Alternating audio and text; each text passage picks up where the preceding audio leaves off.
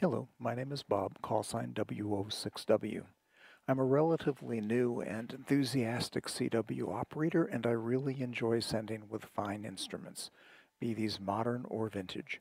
What I'll be sharing today are setup and adjustment for two of my favorite Begali keys, the Intrepid semi-automatic and the Sculpture Swing Sideswiper. Both of these keys are relatively unique. The Intrepid is one of the smoothest operating bugs that I've ever encountered. The Sculpture Swing is possibly the most adjustable sideswiper that I've ever used.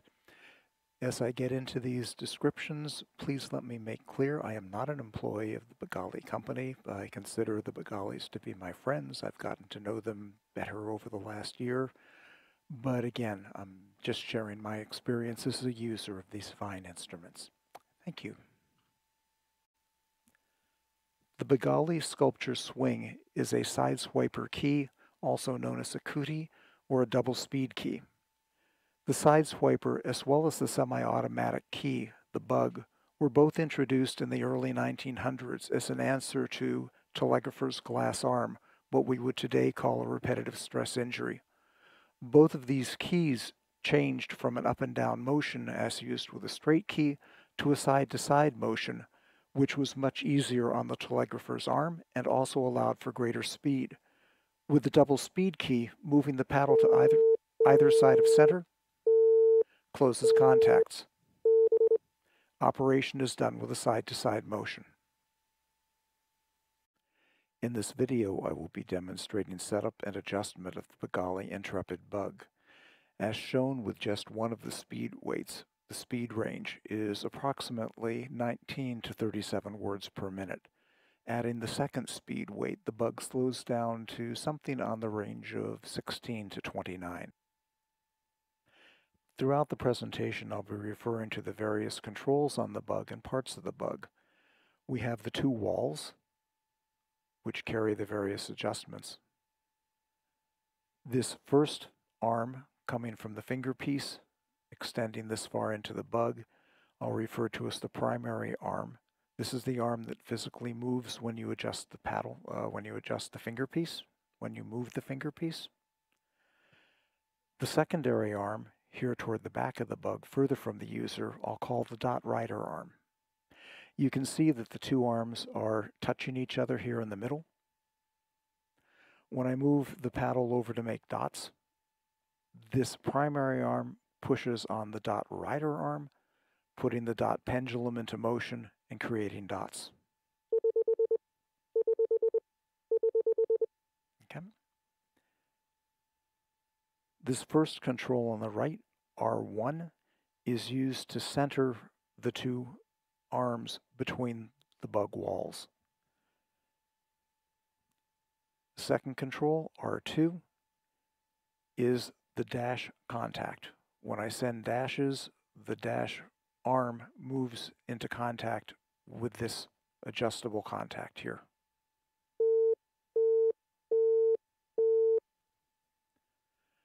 Third control is a dash repelling control. It sets the weight, uh, the amount of force needed to send a dash. So you have a magnet here on the end, which is working in opposition with a magnet uh, on the arm itself. These are pushing each other apart. The fourth control on the right is the dot damper. When I'm sending dots, the dot pendulum is vibrating. This damper absorbs any residual energy when you stop sending dots.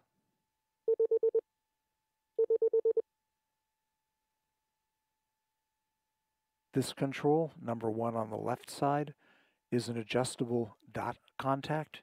You can see a small piston-loaded contact here at the tip of it. This comes into uh, contact with a uh, dot contact fixed to the dot pendulum. The second control, left 2, is the dot repelling magnet. Again, we have a magnet on the control. There is a magnet in the dot rider arm.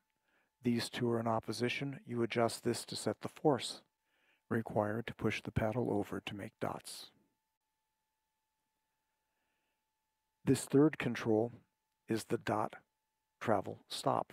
As you make dots, the dot rider arm is pushed over until it comes into contact with this stop. This sets the amount of travel uh, that is available when you send dots.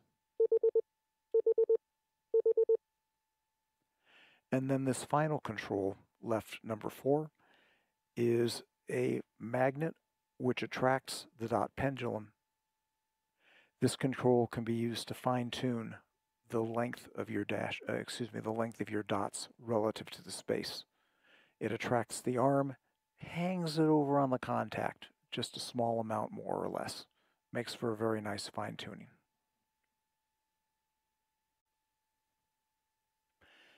This illustration shows the various parts of the bug with their names and the nomenclature that I'll be using. I'll hold this on screen for a few seconds more if you are watching this uh, offline and have the ability just to uh, pause it for a moment, you might choose to grab a screenshot that you can refer to in the remainder of the presentation. We'll begin by centering the primary and dot rider arms between the two walls of the bug. If you look now, you can see that these silver arms are running parallel between the walls of the bug. This control R1 sets that center rest position. If I bring the control in just a bit, you'll see the arms pushed a bit out of parallel. If I come back out again, they return to that parallel position. This control centers those two arms. One check that you should make at this point is to make sure that the dot rider arm is actually resting on the dot rider arm stop. When I do dashes, I would expect the dot rider arm to stay fixed while the primary dash arm moves away. So watch that the dot rider arm stays where it is. This confirms that the rider arm is actually resting on the rider arm stop. One adjustment that you should never need to touch but might want to confirm is that the piston loaded dot contact is well centered on the fixed contact on the dot pendulum. The piston loaded contact wants to hit you know, roughly in the center of that contact riding on the dot pendulum. Our next adjustment is the amount of travel of the fingerpiece when making dots. When I push the paddle over to the right, the dot rider arm is going to come to rest against the dot rider arm stop. So I adjust this control to set how much the finger piece moves when I make dots. Um, when I make a sequence of dots, you'll see the rider arm come to rest on the stop. I'm moving the finger piece about a couple of millimeters, and it gives me enough energy to make on the order of 15 or so dots. More than enough for any legitimate Morse character. We're now going to make a coarse adjustment of the dot weight, the relative length of a dot compared to the space between dots. When starting this adjustment, make sure that the dot fine-tuning magnet, Control L4, is backed out and that this magnet is not real close to the vibrating pendulum. At the moment, it's uh, just a little bit more than a millimeter of the magnet protruding beyond the wall. I then want to adjust the piston-mounted dot contact so that it barely kisses up against the contact that's on the dot pendulum. So I'm gently going to push over to the right, and that's actually very close.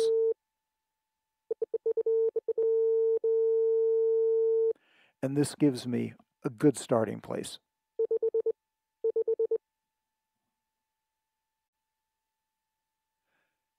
Next, we set the force needed to make dots.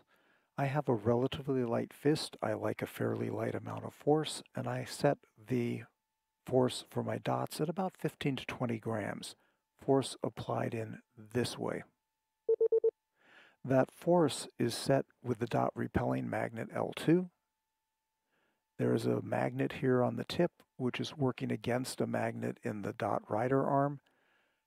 Bringing the magnets closer together increases the force, and as I say, this is set on my bug for about 15 to 20 grams.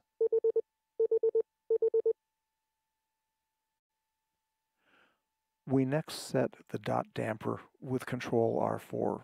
This little white nylon disc at the tip has some motion in it, and as the dot pendulum is released from a string of dots, it will touch this wheel and the wheel absorbs any residual energy in the arm. Uh, you'll notice that right now the wheel is roughly parallel with the ground. The orientation doesn't matter. Doesn't matter. And it's set so that the arm just comes to rest.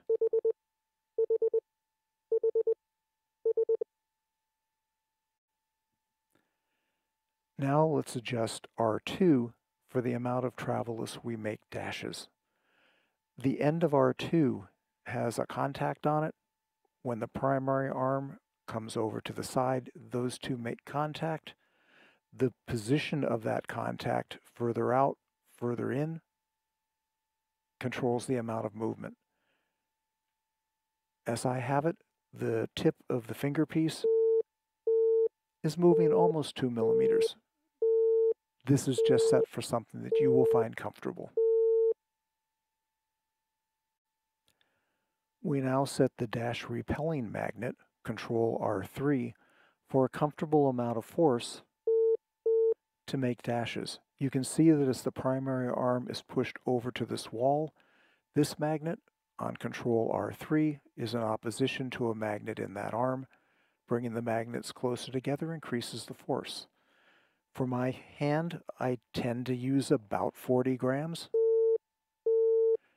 And I determined that by setting the control for what felt good and then measuring it. There's no magic number. Uh, you may want to know the number that you use for repeatability, but this is one more control that's set to taste. We now come to the final and arguably the most sensitive adjustment on the Intrepid. This is the weight of the dits. The length of a dit compared to the space between dits. The primary control for this adjustment is the adjustable dot contact L1, bringing this piston-mounted contact closer to the contact that's fixed to the dot pendulum. For fine-tuning, should you need it, is the uh, dot fine-tuning magnet L4.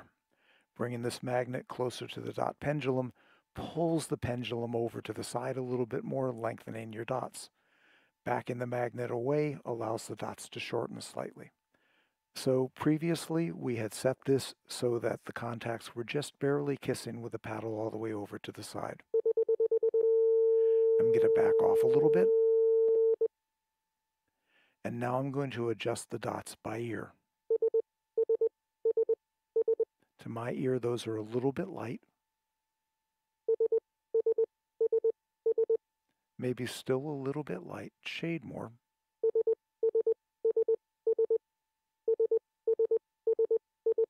And to my ear, those sound very nice. I'm not going to need to touch the fine-tuning magnet.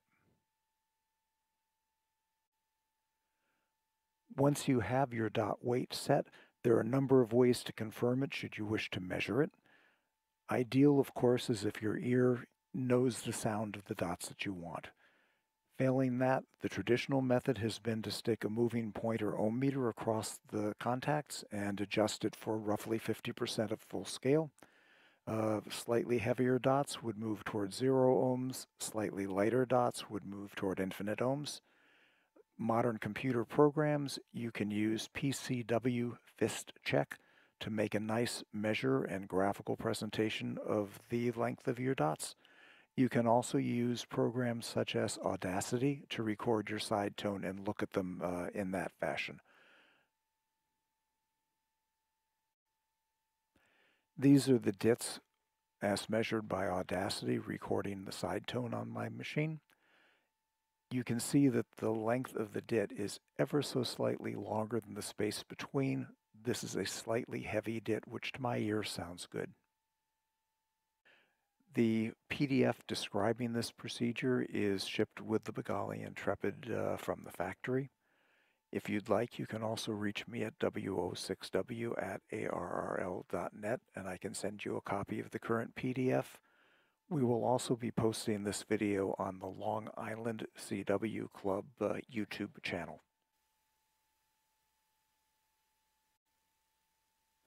Possibly the greatest strength of the design of the sculpture swing is the range of adjustments that are possible. On many keys that are used as side swipers, the paddle comes to a hard stop when the contacts close. So as you key to the side, the contacts close, and there's no additional movement. It's like hitting a wall. Some of us like a more fluid, softer landing, where as the key hits the contacts, additional motion is possible. With the design of the swing, the amount of that additional movement, the over travel, is user adjustable how hard that additional movement will be felt, uh, the contact spacing, all of these are adjustments that can be made so that pretty much whatever your style of side swiper sending, the sculpture swing can be adjusted to accommodate it. This can be especially nice if you're new to using a side swiper and don't yet know what style of sending you're going to like or if your style of sending evolves. The sculpture swing will evolve with you. Let's now look at the various controls and their functions. I'm going to begin on the portion of the key that is closest to the user, this portion up here. Primary control for setting the force to deflect the paddle from side to side, and the fine tuning. Let's take a closer look. What I'd like to show now is the adjustment of the force needed to move the paddle on the sculpture swing. If you notice, there is this black surface curving along the front of the key here, and that when I move the paddle to either side of center, that black surface, that black cam, pivots about this point. There is a bearing in here, which is fixed to the paddle arm, and that bearing is running in a curved track on the cam. So as I move it either side of center, the bearing runs along that track and forces this cam in closer to the user. Riding on that cam is a fixed magnet. There is a magnet in opposition which is connected to the end of this control. Movement of the paddle either side of center brings those two magnets closer together. Bringing this control in closer to the body of the key brings the two magnets closer together and increases the amount of force necessary to move the paddle either side of center. Fine tuning of the force to move the paddle to either side is accomplished with these two spring-loaded pistons. I'd suggest backing these off so that they don't contact the arm and making your coarse force adjustment for side-to-side -side movement. These two pistons can then be brought in until they just kiss up against the arm at rest and then you can adjust the two to set either a uniform amount of force left to right, right to left, or to set up a small imbalance one side or the other if that's your choice. So again, the front magnet is the coarse adjustment. It is fairly equal in its effect on movement to the left and to the right. These two spring-loaded pistons to fine-tune the force left and right. As I move the paddle from side to side, before the contacts close, you can see that the only components involved are the cam for the coarse force and the spring-loaded pistons setting the fine amount of force.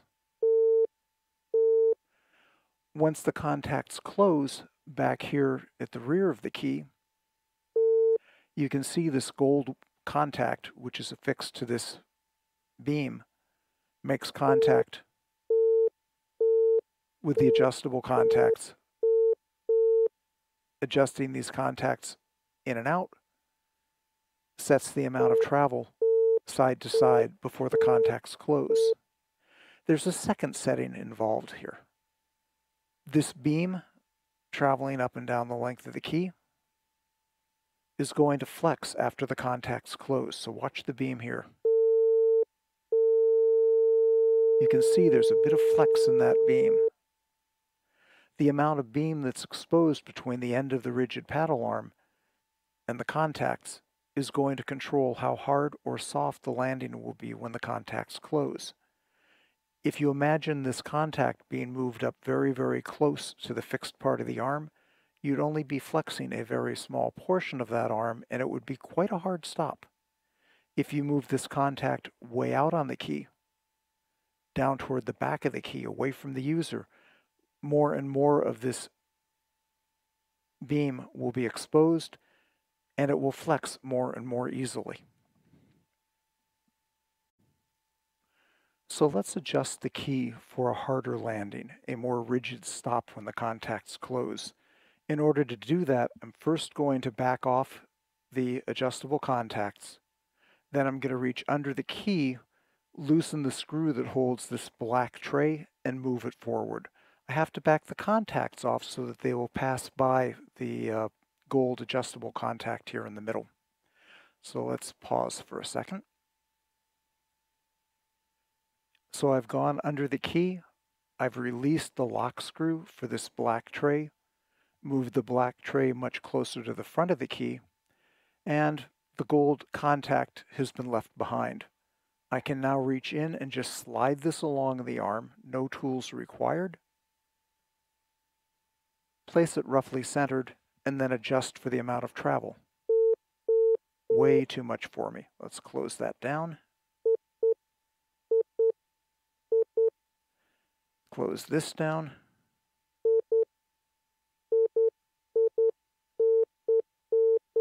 And now there's a very hard landing. I can flex it a little bit, but not very much.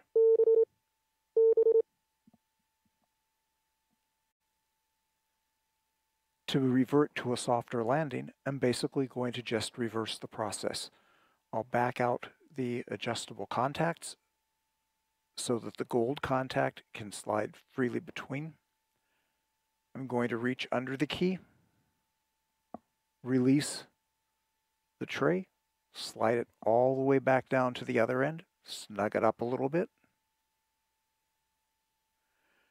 slide the gold contact back along the beam until it's centered between the two adjustable contacts and bring those in so that the spacing is comfortable to my style of sending. And you can see now there's much more flex in the arm, much softer landing. I'll pause, return the key to my normal operating. So I'd like to mention two more adjustments which are frequently overlooked when speaking about the setup and operation of a side swiper. The first of those two adjustments is the spacing between my fingers. As my sending on the side swiper picks up in speed, I tend to bring my fingers closer together. I don't have so far to travel to get to the paddle. The second adjustment is the centering of the paddle between my fingers. If I'm off to the side, it becomes very challenging to send uniform dits as I go from left to right to left to right. I really want the paddle closer to center.